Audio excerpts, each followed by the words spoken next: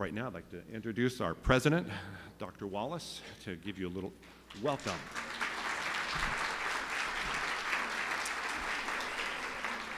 Uh, well, good morning. I'm acutely aware of two things. One, you didn't come to hear me, and two, the last thing they said to me was, "You've got two minutes." So let's let's burn through that two minutes. Uh, you know, it's pretty remarkable over 11 years, as you saw on the screen, nearly two million dollars to teachers, right?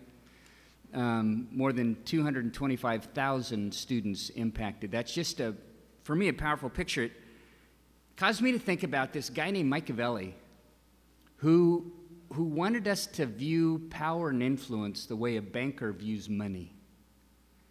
And you save it to use against some significant event. And you contrast that with the way that teachers view power and influence as something to give away, and, and understanding that, uh, that power and influence remains with the teacher and is multiplied with the student so that at the end of the day you end up with more, not the same or less. So that um, those of you sitting in this room become the heroes and heroines in the lives of children now and growing into their adulthood. And I think that is pretty remarkable on a weekend when we celebrate Valentine's Day and the giving and receiving of sacrificial gifts. So thanks for being here today. We are deeply grateful for your role in the process of educating students here in the greater LA area. Thank you.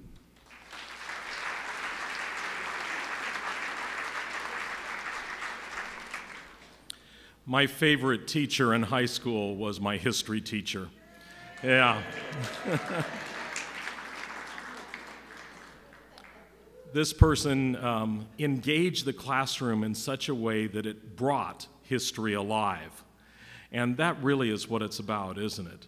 That as he taught the course and as he unfolded the different eras of history, I felt like I was stepping in to it and learning about it in a way that informed my life today. And it really embedded in me a lifelong love of history, a love of reading about historical events, a life of uh, reading biographies of key historical people.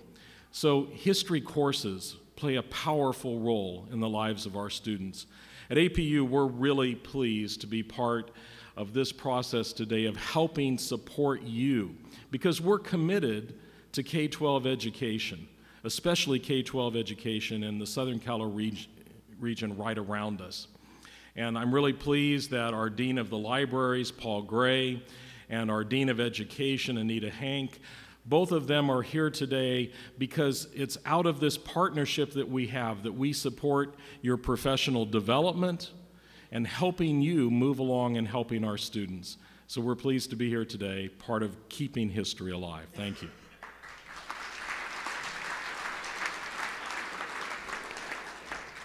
I'd like to ask uh, Doug Boyd, who is part of the Board of Education for Los Angeles County Office of Education, to come up and introduce his colleague who you all know very well.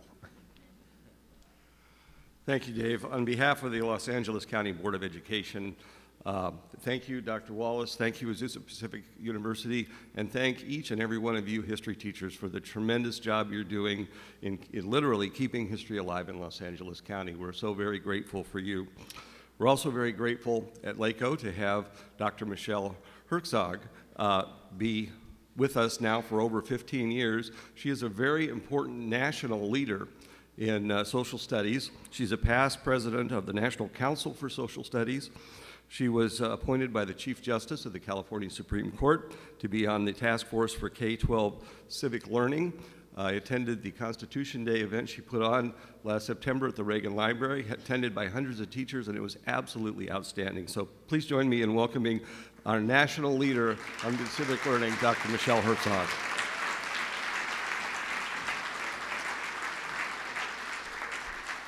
Thank you so much, Mr. Boyd. It's really lucky when one of your biggest fans is on your Board of Education, I have to say. So thank you so much. It's been 11 years since we started with Mr. Tom Andrews, the mastermind of this fabulous program. for all the wonderful donors who are keeping this going, for Azusa Pacific and all our great colleagues and friends here for keeping this going, and to you, the teachers. You got a lot on your plate. You don't have time in the day for much of anything. Here you are giving up another weekend. This is a good reason, I would hope. But uh, for you to take the time to put your students first, to write out a grant proposal, to submit it. It's not easy. We made it as simple as possible. But thanks to you and all the teachers have come before in the past 11 years, you are keeping history alive for yourselves and the thousands and thousands of young people you touch. So thank you to everyone. I'm thrilled to be part of this again. Thank you.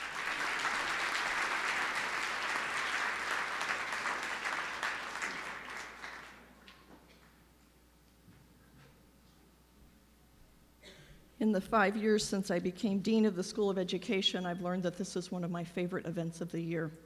To come in and to see the, the energy and to hear the stories of how you have used these grants is really heartwarming. And so I have the privilege of introducing uh, two grant recipients, three individuals who will share their experiences. And it was hard to choose.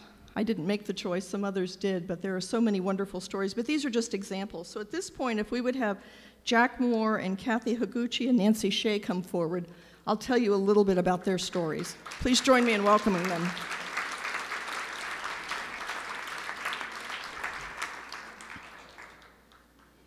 I'll start with Jack's story while his colleagues join him.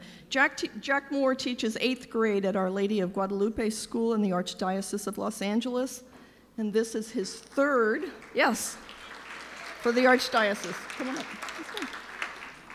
This is his third year in a, Keep, a Keeping History Alive grant, and he's graduating this May with his master's degree in education from Loyola Marymount. So, congratulations.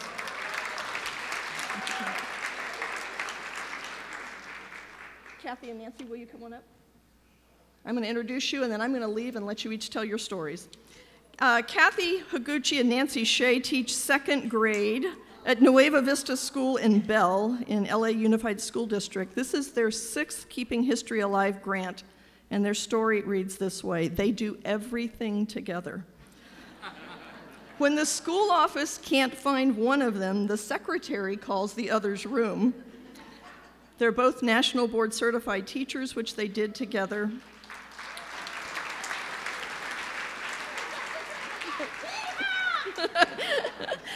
Nancy's, they're full of energy too.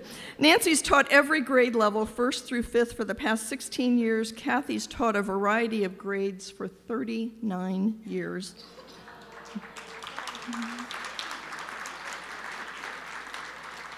But as many of you would say, she says this their current class is their favorite.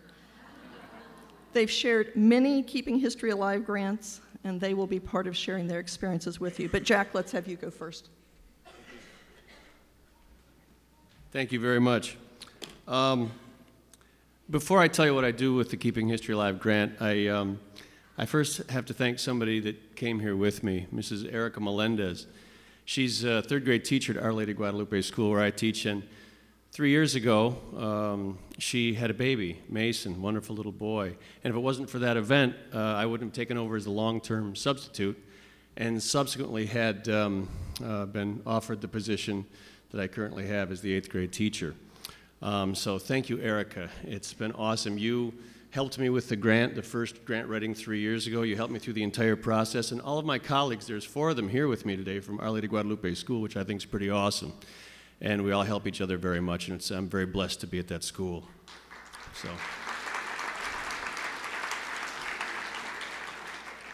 Okay, in a, in a nutshell, here's what I do with my um, grant. I teach a Holocaust unit to my eighth graders, and there's three things I do with the money. I buy uh, for each student a copy of Elie Wiesel's Night. I'm sure many of you have read his memoir, and that becomes uh, the main piece of literature through this historical unit. And I also take all the eighth graders to uh, the Museum of Tolerance for the three hour tour, as I'm sure many of you have done. It's uh, extraordinarily impactful. This will be the third year that I do it, and it'll be my sixth time taking the tour. And each time I'm there, I learn something new and uh, it is an amazing experience for those uh, for those eighth graders. But um, The unit uh, is really much bigger than those three things, and it's because of keeping history alive that has allowed it to, to grow and morph. I have a two day mathematics session when we talk about how the Nazis designed the rail systems uh, to transport the victims to the concentration, the extermination camps, and also how they uh, used uh, percentages of genetics to decide who would live and who would die. And we also look at the vast numbers of victims throughout all of World War II and the gravity of, uh, of that event, and it's, it's very impactful. And we also, um, I also have a two-day science unit where we look at Zyklon B, which is the insecticide that the Nazis decided to use in hopes of completing their final solution, and um, what it actually does when you inhale it, what happens in the bloodstream, what it does to a cell in the cellular respiration. And um, so science is part of the Keeping History Alive grant. At the end of the unit last year, we also each wrote a letter to Elie Wiesel, who's still alive and very active in New York City. And um, he wrote us back. It's amazing. Personal letter. I think he typed it on a Selectric, or at least he dictated it. It was like, I mean, it was not like a Word doc, and hand signed. So I photocopied each uh, a letter for each of my students, and they'll always have it with the book that they always have. And it was awesome. But check this out. The unit was basically over, but we had an opportunity to be visited by a woman by the name of Ella Weissberger. She's a survivor of the concentration camp in Terezin. When she was there, um, she was a young woman, and uh, she used to do a lot of art. And she subsequently survived, wrote a book, and in that book there were pictures of a lot of the art that she did.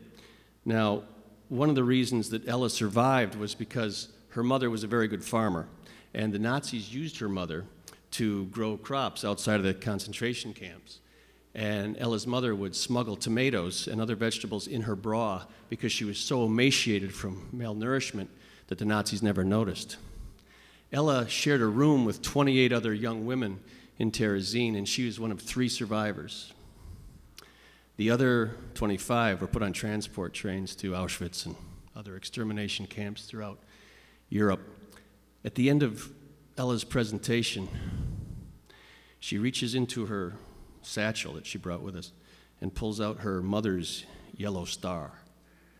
It's in a hermetically sealed plastic bag, Judah. Now, consider that I've taught these kids for six weeks about the Holocaust, so the yellow star on the armband has great impact to them. And we weren't allowed to touch it, but we all huddled around and looked at it. It was amazing. And keeping history alive allowed that experience to happen. So I have to thank Azusa Pacific University and keeping history alive because what you guys do for all of us in this room is truly transform lives. So thank you very much. And thanks all of you.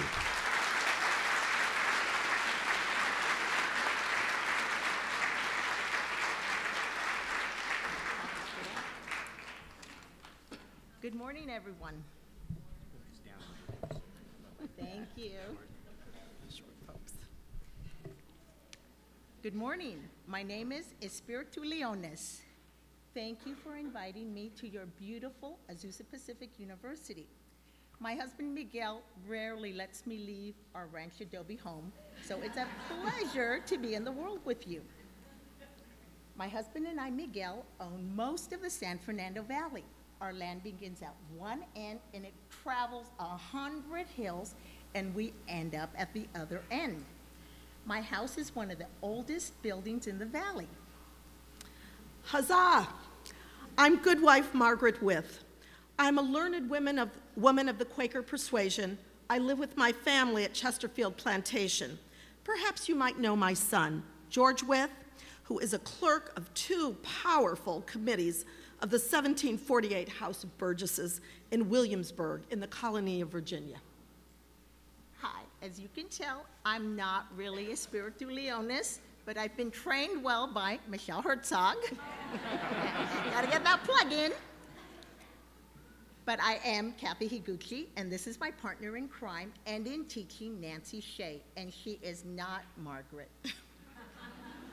However, Espiritu and Margaret were real people who made a difference in our lives. Espiritu was a daughter of a Chumash chief, and she, not her husband Miguel, inherited much of their land.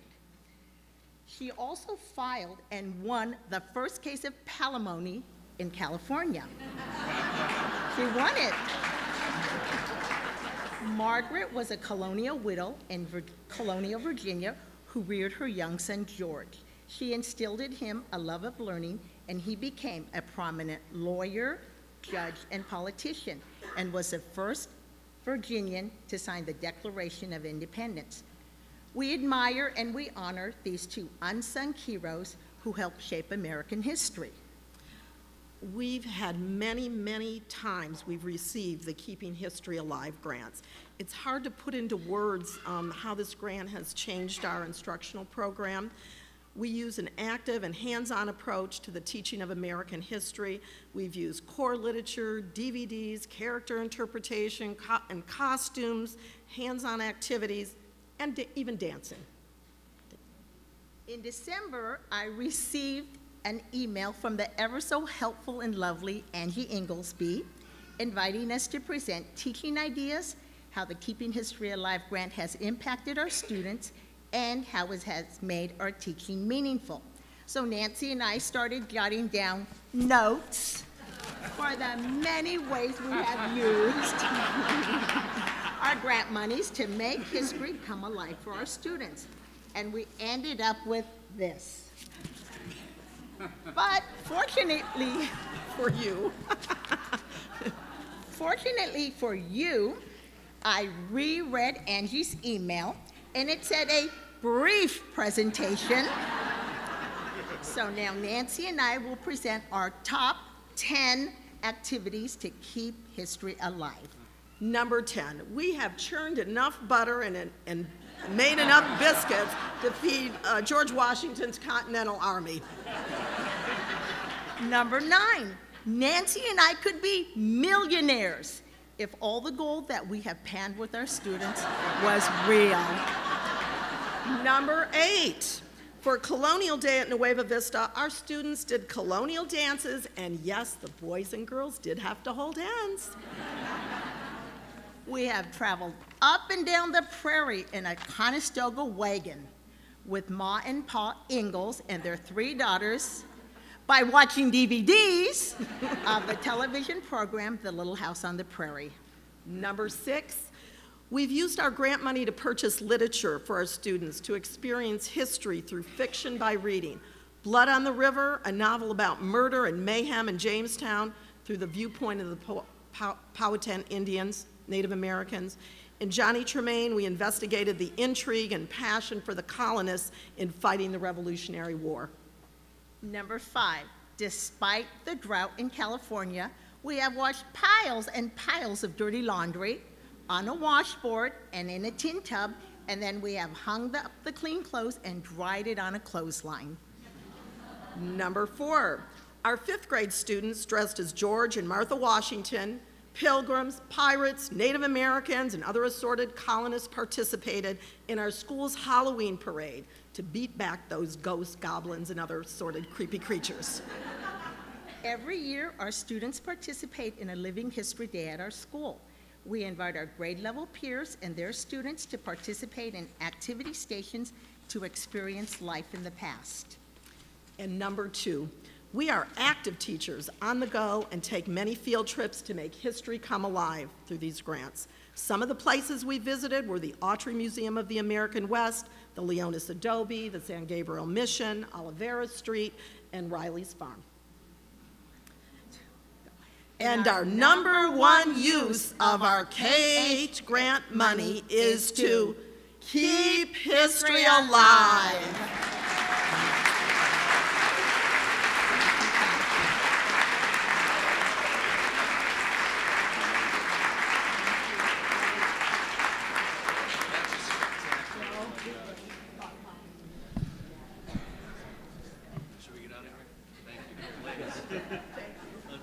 They've been wanting to get out on stage for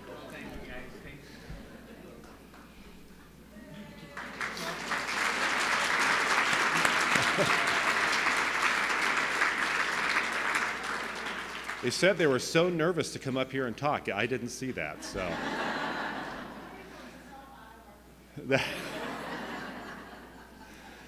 Again, as you- hopefully you see, as your colleagues come up and share uh, what they've done with these grants, uh, that really the impact that you have on the, the students that you teach goes far beyond just that you know, initial classroom. And the experiences that you allow those students to have do have an impact for a lifetime. And uh, again, the teachers share uh, what they have, have done and uh, what the students have experienced. I hope will encourage you to continue uh, taking part in being creative and making history come alive. Now, our, our next speaker I met uh, probably about 10 years ago when uh, another event that we host, History Day LA, um, came with a table, a placard, and was telling you teachers about uh, the Chinese Historical Society. And so over the 10 years that I've gotten to know Eugene, he's shared history with teachers and students and parents and has just been a, a, joy. You may have seen him on uh, PBS. He's done a walking tour of Chinatown, uh, as well as other things. Uh, anything about uh, history, you'll probably find him there somewhere. And so I thought, what better person to have talked to you about the importance of keeping history alive than somebody that is actually doing that uh, day to day. So I'd like to invite Eugene to come up and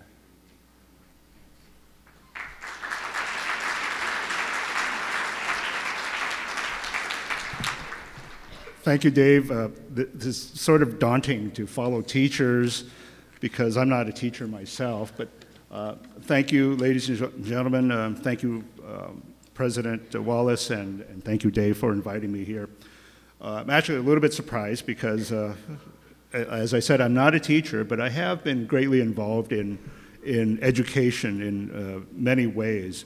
Uh, so I'm going to share a few minutes with you. i will try to do this quickly. I know that you're uh, minutes away from lunch. But I am an LA native. I, I uh, grew up in South Los Angeles. My dad had a mom and pop store at 105th and Main. We lived behind the store.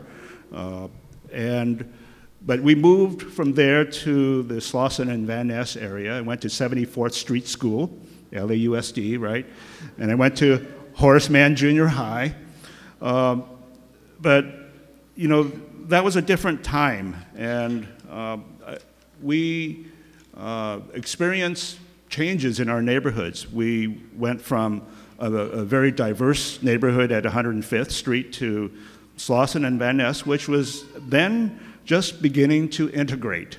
And what that meant was garbage on the lawn, eggs thrown at the house, threatening phone calls, uh, walking with my sisters and um, uh, brother to 74th Street School, uh, someone spat on me. So that was a, a, different time that, that we grew up in. Uh, I always thought of myself as just an American. My father, grandfather, great grandfather had been here. My uh, grandfather was in San Francisco, Seattle, and in Montana, where he had a laundry in Helena. Uh, my uncle, uh, who my grandfather brought over, had a laundry in Omaha.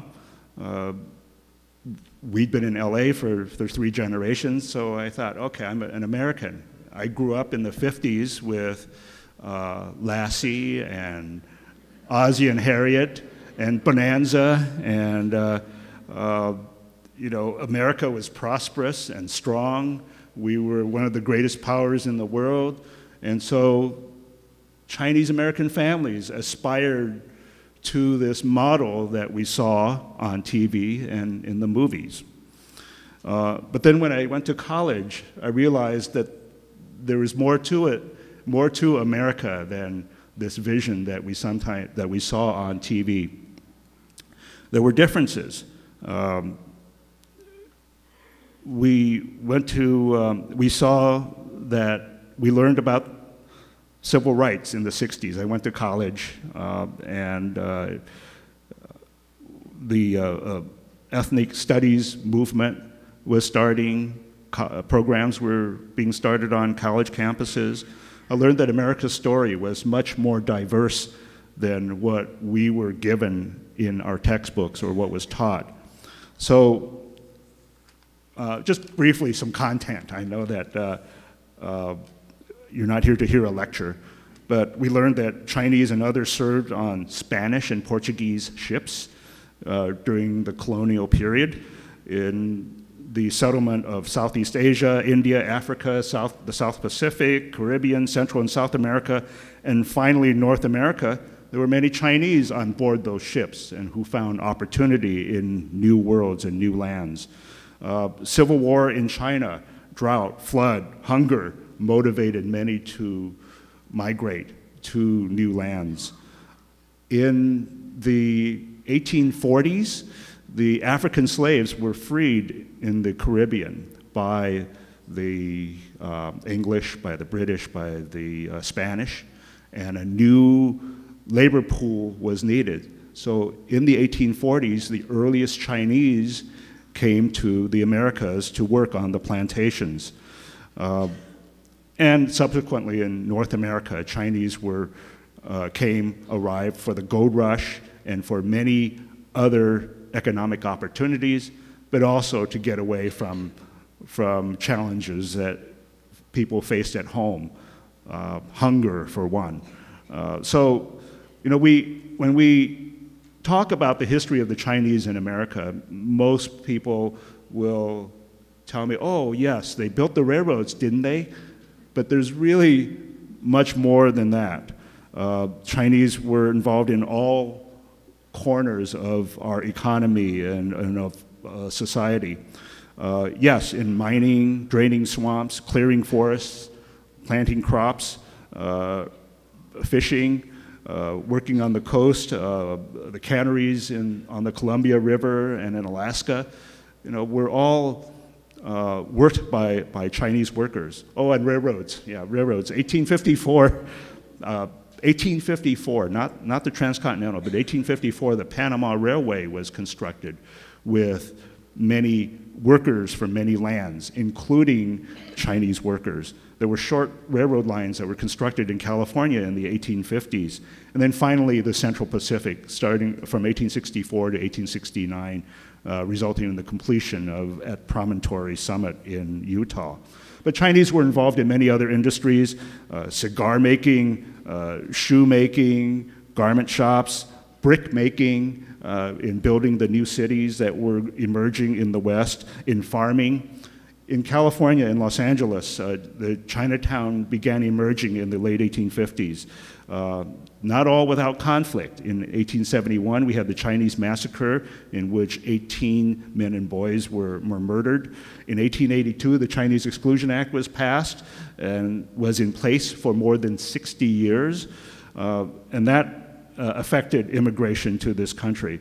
So there were many obstacles uh, racism, uh, efforts at na maintaining neighborhood purity, racial and religious segregation, struggles over the 14th interpretations of the 14th Amendment. I'm sure all of you, you know, are, are dealing with that in, in the classroom or even in uh, uh, uh, personal family situations.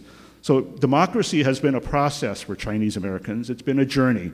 Uh, there have been many interpretations and, and, rulings on the Constitution, on the Bill of Rights, based on Chinese American immigration. Uh, so and there are still ongoing tests, you know, Lau versus Nichols, uh, you know, what, teaching of English uh, as a second language. So finding history has been, and finding ourselves has been a journey. Uh, am I Chinese? Am I American? Am I Mexican? Am I Nicaraguan? Am I Kenyan? You know, what is my identity in, in this country? Um, the Chinese Historical Society was founded to in the 1970s as a process to help discover our heritage, to help us find a grounding, a foundation, uh, so that we could uh, develop models for uh, where we could go in terms of becoming American. Uh, we hosted speaker programs, we uh, collected materials, documents, we publish books, and importantly, one of the things that we have been doing is organizing walking tours of LA Chinatown. Uh, over the years, uh, we started in 1981 with the bicentennial of Los Angeles, and over the years we have uh, led thousands of students through living history, through a, a Chinatown that began in the 1850s and is still vibrant and dynamic today. The Chinatown of Los Angeles, of course, has spread far beyond its original boundaries. If you go into the San Gabriel Valley, into the South Bay, into Orange County, you know, you're certainly aware that our Chinese American community has uh, definitely moved beyond the original confines, the original ghetto that Chinatown was. So we are happy as an organization and we are happy as a community to share our history with teachers in the hope that you, as the ambassadors of knowledge, of truth, and of um, an ethical, ethical presentation of our history, can really help enrich our society. And, and, and speaking of ethics, uh, we had a, um, uh, a major publishing effort oh, in the mid 90s to uh, actually, no, excuse me, it was in the mid 2000s, uh, 2005, 2007, to publish a book called uh, Portraits of Pride. Actually, there were two books that came out, Volume 1 and then Volume 2. Volume 2 was actually, had its debut here on this campus at Azusa Pacific University.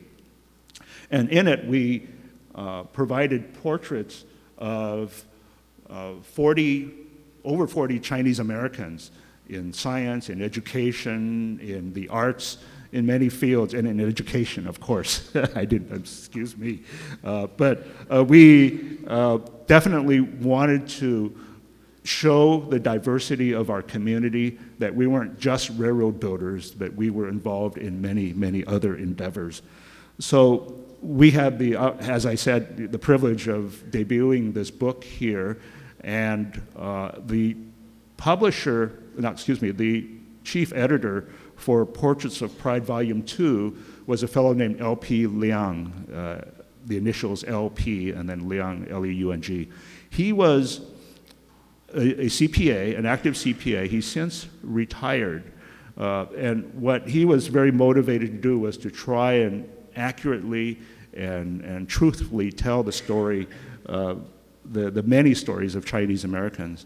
Um, in fact, he's such an honest guy that he came back when he retired in 2012 and he provided a, a major donation to Azusa Pacific University to um, support the, the School of Accounting here at APU. And so when you walk a, a few buildings over, you'll see his name and his son's name, who, who unfortunately passed early. But you'll see the LP Leung name uh, on the building. It's really the LP Leung School of Ethical Accounting. That's what his really, he really wanted to do.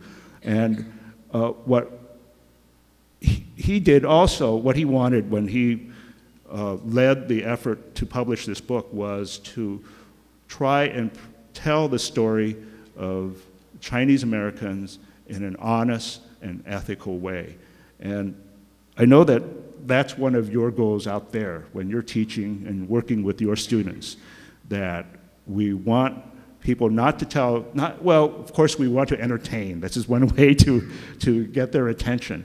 But we also want to be sure that we maintain integrity and, and honesty and truth and, and ethics in all of the, the um, things that we communicate to our students.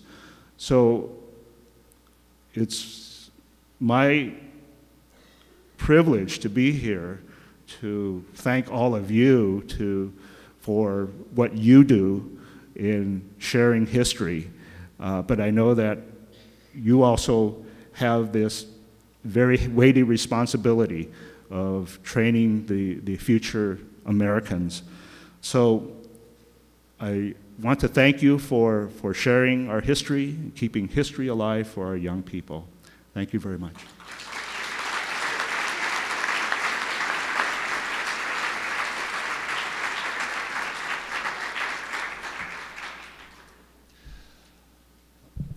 Okay, I get the the fun job of giving you a little bit of history of, of the Keeping History Alive grant. So this is our 11th year, and we all know, uh, or most of us that have been taking part in the grant, know that Tom Andrews was the one who uh, thought this up and, and started it, and he ran it, uh, and I appreciate him uh, for thinking of history teachers because uh, I taught middle school for, for 15 years, so I know what many of you go through. Middle school is the most important grade. hey, I'm sorry, elementary, but you know, el, you know, and I'm sorry, high school, but middle school is the most important because they still like to color. they still like to dress up in costume, and they do dumb things but they still like to learn. And so middle school, I, I always enjoyed doing that. But 11 years, we have $1.9 million awarded, over 2,500 grants. That's just amazing. Uh, it's really, really hard when we sit down and look through all the grants that you guys provide, trying to whittle them down to what we can award. Um, if we had our way, we'd just award all of you. Uh, but we can't, and that's an important part. So you guys are the cream of the crop. You guys have the most creative ideas, uh, what to do with your grant money. And when Tom started this, he came with the idea that teachers will not waste money. Teachers are frugal. Uh, just ask some of the teachers that have the same materials that they started with, you know, 20 years ago. I work with teachers that still had 16 millimeter projectors that they wouldn't get rid of. So. I have to admit, I still have a 35 millimeter slide projector because the kids like the clicky thing. Um, but, but teachers would use their grant money wisely to get the things that they need to impact their students. And that was his governing idea of the whole grant process, and you guys have proved him correct. When we look at the grants, you're down to the penny. You don't round up but you come right to the penny on what you want and need. And uh, we appreciate that, and um, it's, it's just a blessing to see that you do that. Because that means that you use your, your monies and resources well for your students. So that means that you teach your students well. We have over uh, 6,500 teachers that have benefited from our grant program, as well as 225,000 students about that have benefited from the grants that you have uh, done. And I'd like our, our supporters to stand and you can recognize them, the Webster Foundation and Lee and, and his wife, Walcott.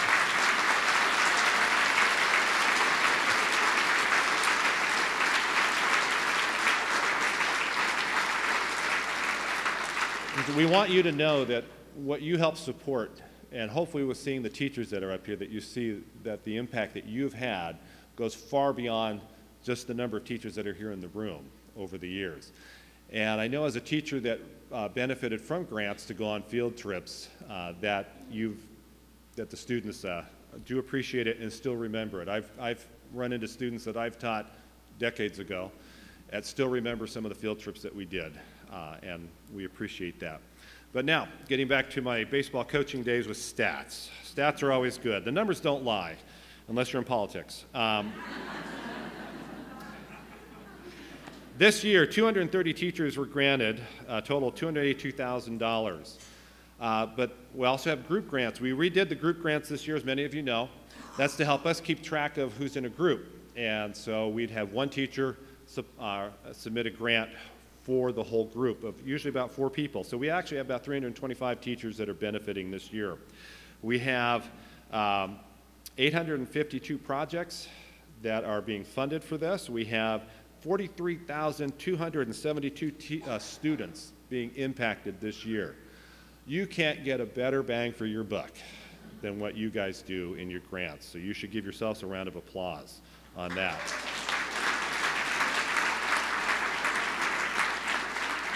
If you guys could teach the federal government how to spend money, we would be in a lot better place because on the average, you only spent $6 a student to get all the, the uh, wonderful resources and experiences. Um, we have 157 elementary schools that are represented today. We have 49 middle schools that are represented today. And we have 15 high schools that are represented today. And that shows an increase in the uh, secondary uh, schools, which is great. Secondary sometimes get lost in the, in the shuffle for uh, field trips. Elementaries uh, by far get a few more field trips than, than secondary schools, and we're excited to see uh, that secondary is, is being represented.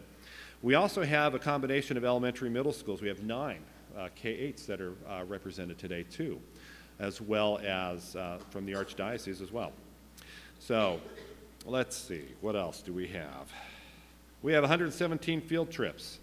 Uh, I think Riley's Farm is underwritten by us, so,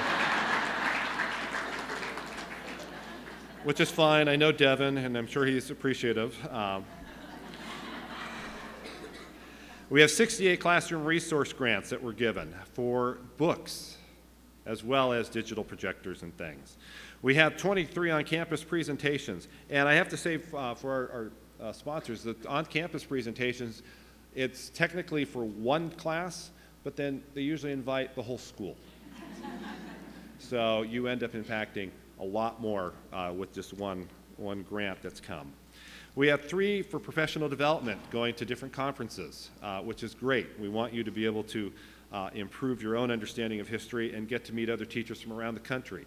I know some of you went to the National Council for History Education, which I present at uh, usually, and that's a great conference because you meet teachers from all over the, uh, the country. We had one, we had four teachers that wrote grants for an on-campus presentation and classroom resources. That is really stretching a penny, so I want to commend you on that. So, and we have uh, also one that did an on-campus presentation and field trips. So you guys are really good um, at stretching those funds. So I could mention some of the field trips examples, but we all, how many of you actually went to Riley's Farm or are going to Riley's Farm? Okay. How many of you are going to an, a mission? Okay. How many of you are going to uh, um, like Museum of Tolerance or uh, okay? So, how many of you got classroom resources this year? Okay. Now, how many of you this is your first time getting a KHA grant? Right. How many of you have gotten a few? Okay. I had one meet, uh, I met this morning, I talking, she goes, I got three. I go, you don't have to be ashamed. it's okay. So we've had some that have gotten five, okay? Uh, it's okay. Um, we want you to be excited about it. How many of you actually heard about our grant program from a fellow teacher who received a grant? Okay. How many of you were twisted, you know, had your arm twisted? You're going to apply for a grant so we can go on a field trip. Okay. And that's fine. You know, those veteran teachers helping those new teachers learn the ropes and what's, what's to be expected. So we had 27 districts uh, in our grant program this year, uh, which is great. We have, um, whoop, lost my notes, 156 individual schools uh, take part this year in our grant. So 60 of you were our first time recipients. And I, you know, I am just in awe of what Dr. Andrews started. Uh, I'm a little uh, nervous of, you know, taking over. This is my second year doing it. I hope, Tom, I'm doing okay. Um, he has very large shoes to fill. I'll never fill his shoes. I can follow, hopefully, and uh, do uh, carry on his dream. Uh, like I say, having been a teacher, I understand the excitement of being able to take students on a field trip, uh, the excitement of seeing the light bulb go on. And those of you teaching middle school know there is a light bulb that does go on above the head, which usually follows the kid falling out of his seat.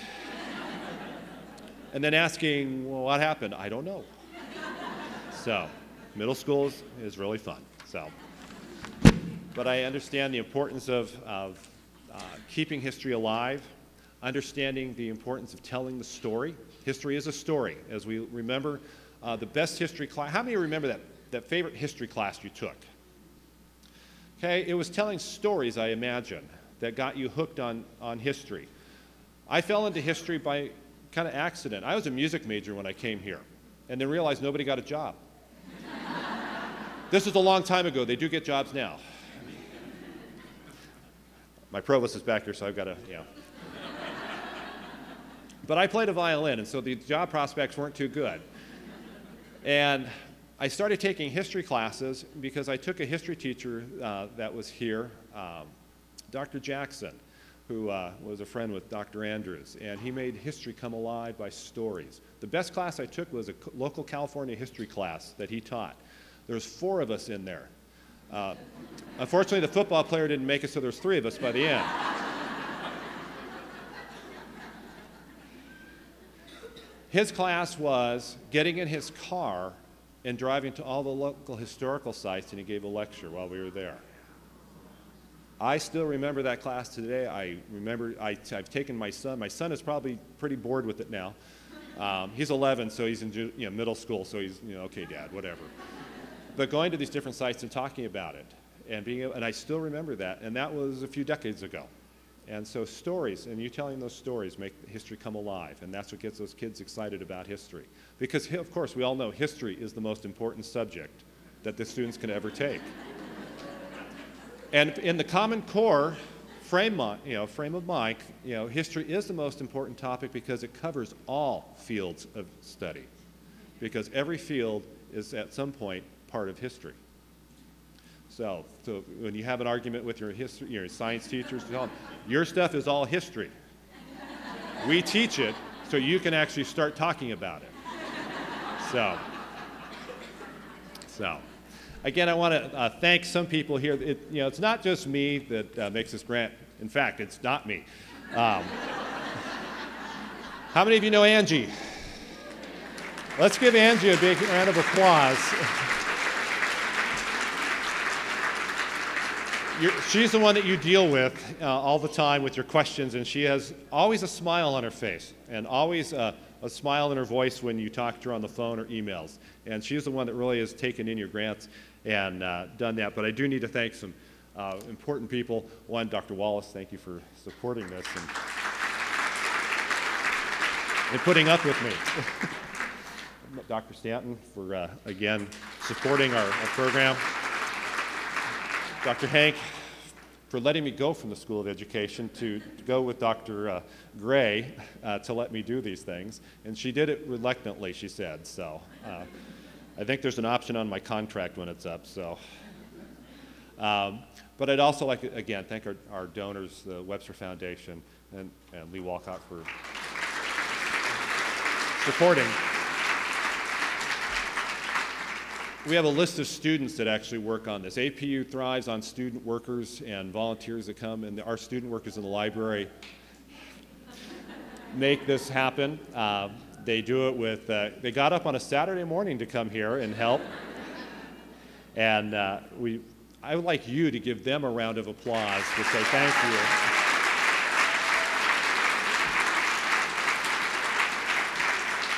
And Eugene, thank you again for making history come alive and just the stories that you teach. So thank you for coming. So. Right now, I'd like to introduce Dr. Gray. I know he's around here somewhere. And actually, I need to thank Dr. Gray for actually having the vision to hire me 10 years ago to come here to APU. So.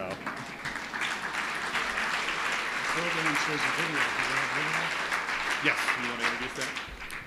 Uh, some of our staff has put together a video of pictures and things that you've sent us and whatnot. So could we have that now?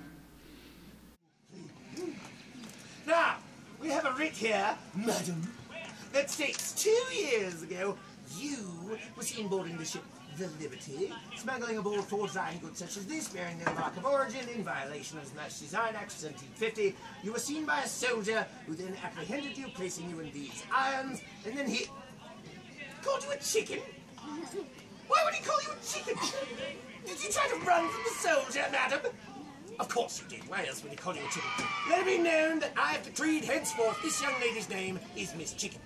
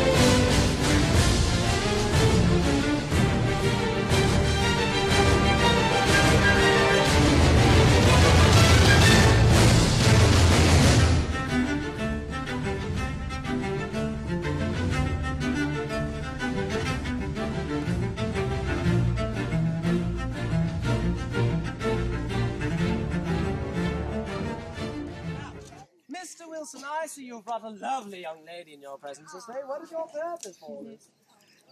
Mr. Oliver, we have need to we have need of a stamp to purchase a marriage license. A marriage license! Oh, lovely. Am I correct in surmising this is your fiancé?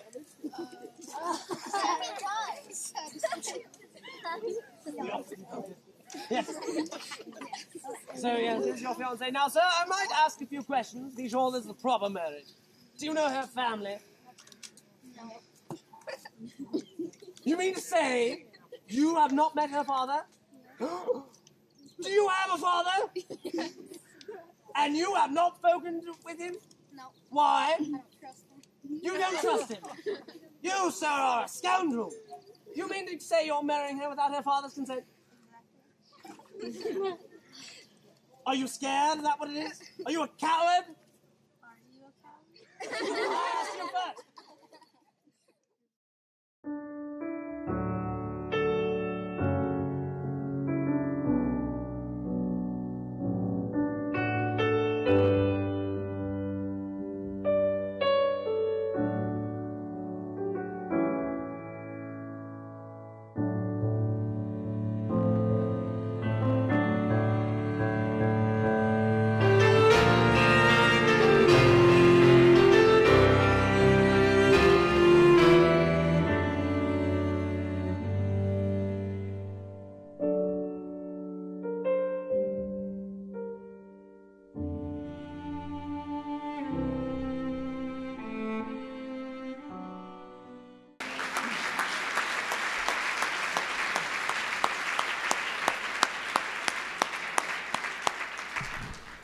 I just want to remind you of History Day LA, March 12. If you aren't competing, you don't have students competing in that event, please come anyway and see what happens during that event. We have a lot of activities on the campus. So, March 12th, be sure you come back for that. Um, in 1994, the then executive director of the Historical Society of Southern California had read a few books and he came up with this idea of awarding teachers for good service. And 10 years later, that developed into giving out small grants. So I'd like to ask Dr. Tom Andrews, who's founder of this program, if he'd come forward on the stage. And I would like us to close by just giving him a standing ovation. Would you do that?